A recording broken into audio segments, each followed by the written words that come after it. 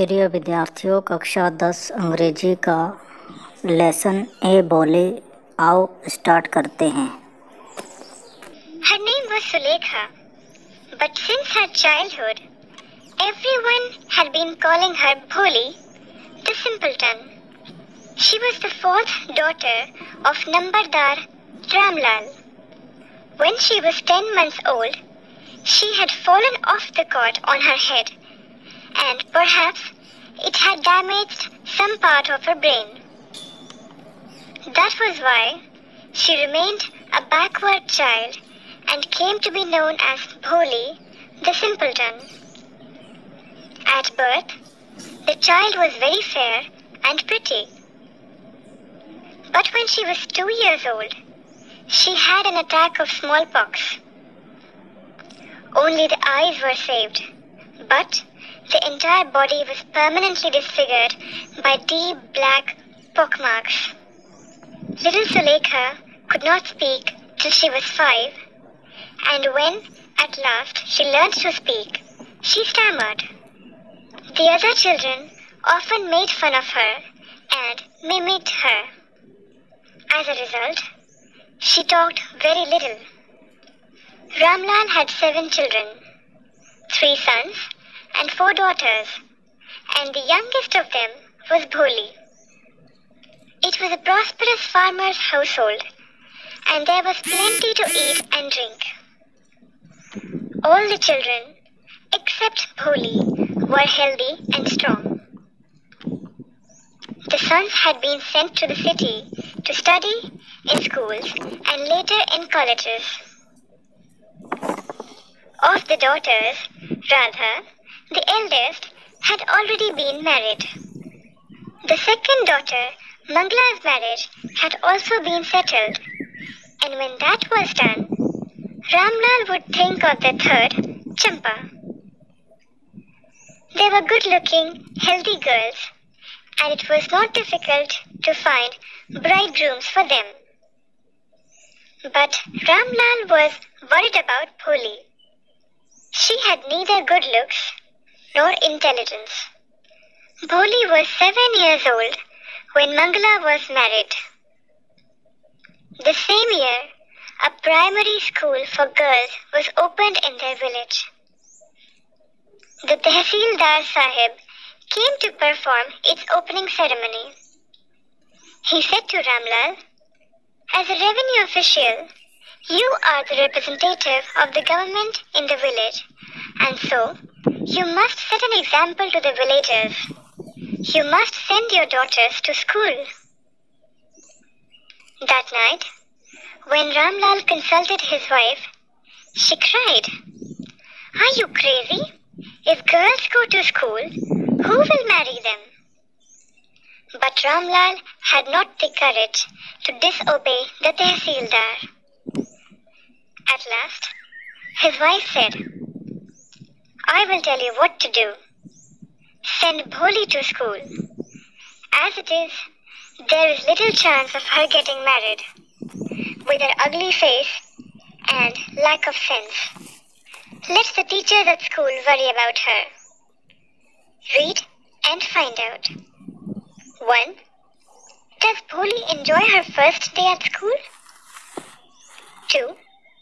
Does she find her teacher different from the people at home?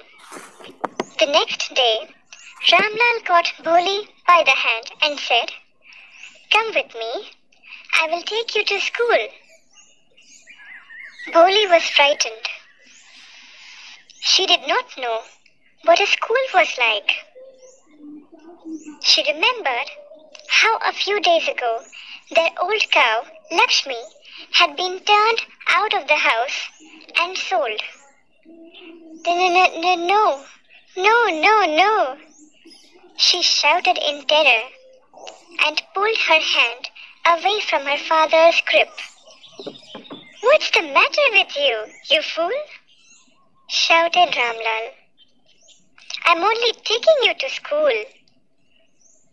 Then he told his wife, Let her wear some decent clothes today, or else what will the teachers and the other schoolgirls think of us when they see her? New clothes had never been made for Bholi. The old dresses of her sisters were passed on to her. No one cared to mend or wash her clothes.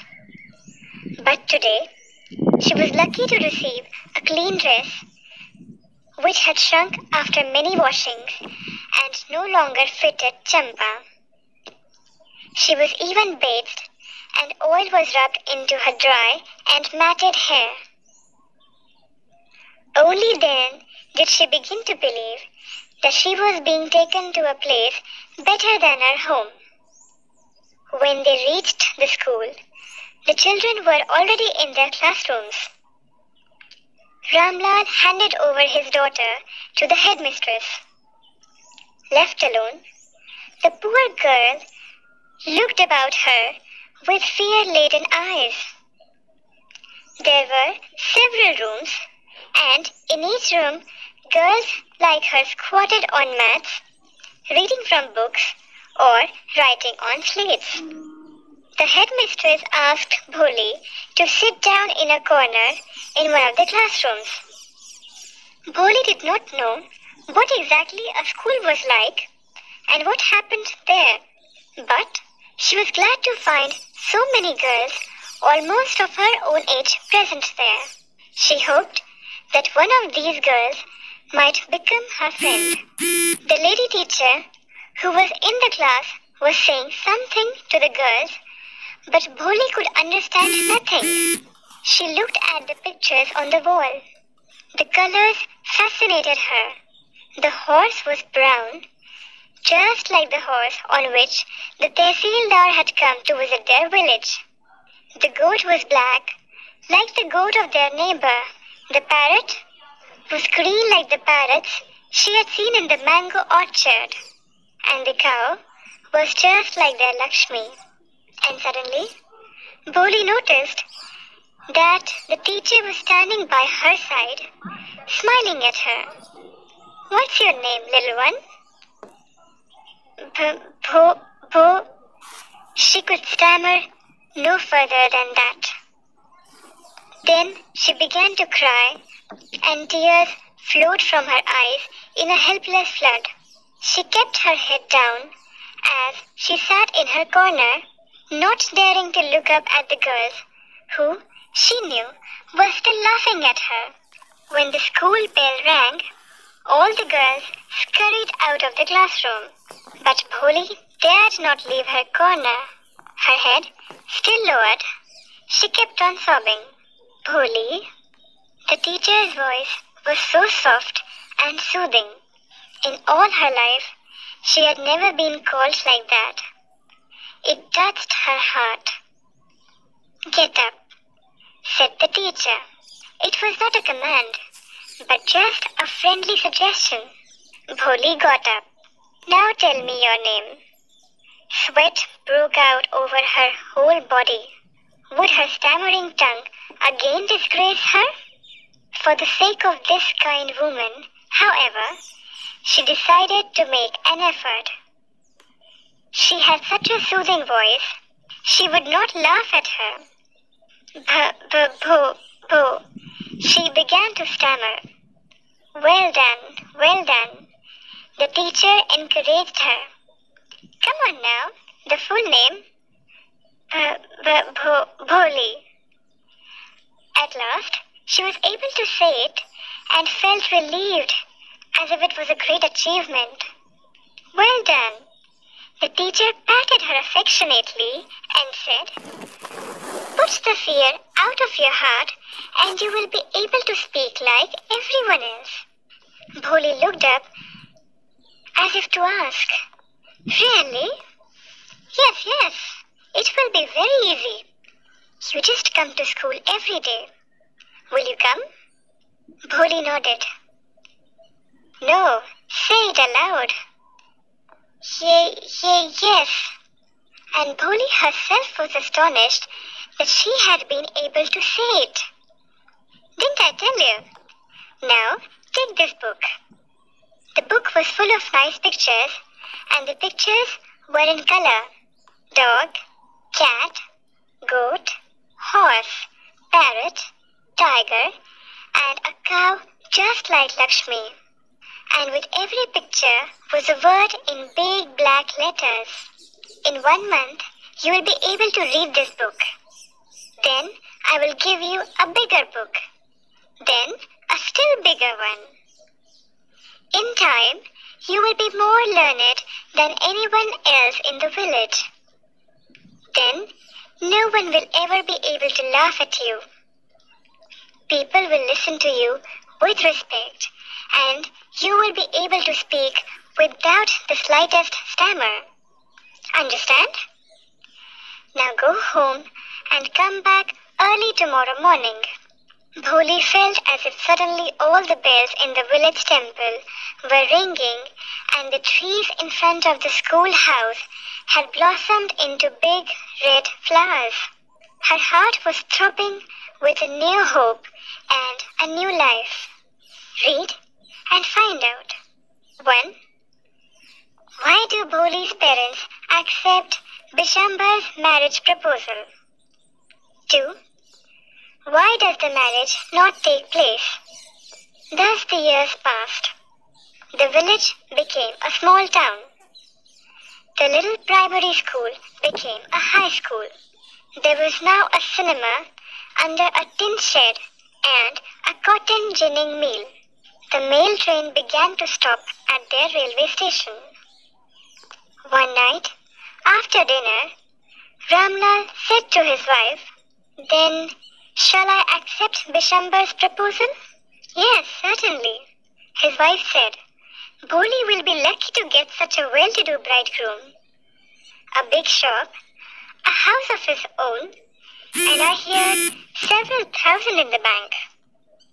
Moreover, he is not asking for any dowry. That's right. But he is not so young, you know. Almost the same age as I am. And he also limps. Moreover, the children from his first wife are quite grown up. So what does it matter? His wife replied, Forty-five or fifty. It is no great age for a man. We are lucky that he is from another village and does not know about her pockmarks and her lack of sense. If we don't accept this proposal, she may remain unmarried all her life. Yes, but I wonder what Bholi will say. What will that witless one say? She's like a dumb cow. Maybe you're right, muttered Ramlal. In the other corner of the courtyard, Bholi lay awake on her cot, listening to her parents' whispered conversation. Bishambar Nath was a well-to-do grocer. He came with a big party of friends and relations with him for the wedding. A brass band playing a popular tune from an Indian film headed the procession, with the bridegroom riding a decorated horse. Ramlal was overjoyed to see such pomp and splendor. He had never dreamt that his fourth daughter would have such a grand wedding. Bholi's elder sisters, who had come for the occasion, were envious of her luck. When the auspicious moment came, the priest said, Bring the bride. Bholi, clad in a red silken bridal dress, was led to the bride's place near the sacred fire. Garland, the bride, one of his friends, prompted Bishambar Nath. The bridegroom lifted the garland of yellow marigolds. A woman slipped back the silken veil from the bride's face. Bishambar took a quick glance. The garland remained poised in his hands. The bride slowly pulled down the veil over her face. Have you seen her? said Bishambar to the friend next to him. She has pock marks on her face. So what? You are not young either. Maybe. But if I am to marry her, her father must give me 5,000 rupees. Ramlal went and placed his turban, his honor, at Bishambar's feet. Do not humiliate me so. Take 2,000 rupees. No, 5,000. or we go back. Keep your daughter. Be a little considerate, please. If you go back, I can never show my face in the village. Then out with 5,000. Tears streaming down his face, Ramlal went in, opened the safe, and counted out the notes. He placed the bundle at the bridegroom's feet. On Bishambar's greedy face appeared a triumphant smile. He had gambled and won. Give me the garland, he announced once again. The veil was slipped back from the bride's face, but this time her eyes were not downcast. She was looking up, looking straight at her prospective husband, and in her eyes there was neither anger nor hate, only cold contempt. Bishambar raised the garland to place it round the bride's neck. But before he could do so, Bholi's hand struck out like a streak of lightning, and the garland was flung into the fire. She got up and threw away the veil. Pitaji, said Bholi in a clear, loud voice, and her father, mother, sisters, brothers, relations, and neighbors were startled to hear her speak without even the slightest stammer.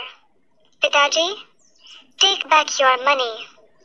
I am not going to marry this man. Ramlal was thunderstruck. The guests began to whisper, So shameless! So ugly and so shameless! Bholi, are you crazy? Shouted Ramlal. You want to disgrace your family? Have some regard for our izzat. For the sake of your izzat, said Bholi, I was willing to marry this lame old man, but I will not have such a mean, greedy, and contemptible coward as my husband. I won't, I won't, I won't. What a shameless girl. We all thought she was a harmless, dumb cow. Bholi turned violently on the old woman. Yes, Auntie, you were right. You all thought I was a dumb, driven cow. That's why you wanted to hand me over to this heartless creature. But now, the dumb cow, the stammering fool, is speaking. Do you want to hear more? Bishambar Nath, the grocer, started to go back with his party. The confused bandsmen thought this was the end of the ceremony and struck up a closing song. Ramlal stood rooted to the ground, his head bowed low with the weight of grief and shame. The flames of the sacred fire slowly died down. Everyone was gone. Ramlal turned to Bholi and said, But what about you? No one will ever marry you now. And what shall we do with you? And Sulekha said in a voice that was calm and steady, Don't you worry, Pitaji. In your old age, I will serve you and mother, and I will teach in the same school where I learned so much. Isn't that right, ma'am? The teacher had all along stood in a corner watching the drama. Yes, Bholi, of course, she replied. And in her smiling eyes was the light of a deep satisfaction that an artist feels when contemplating the completion of her masterpiece.